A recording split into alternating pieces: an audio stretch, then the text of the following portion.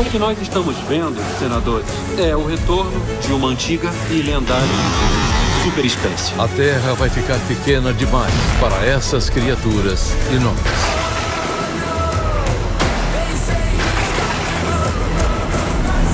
Todas as outras criaturas estão cumprindo as ordens dele.